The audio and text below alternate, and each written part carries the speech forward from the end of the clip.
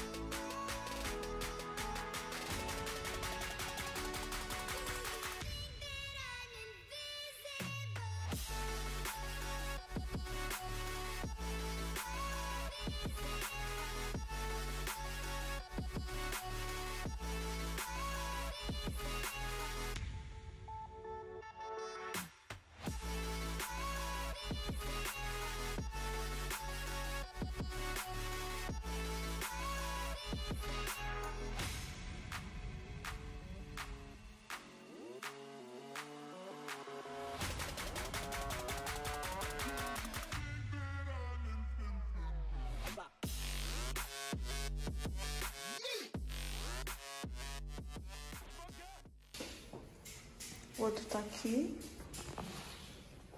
O outro, esse é o outro. Ele é menos fundo e esse aqui é um pouco mais fundo.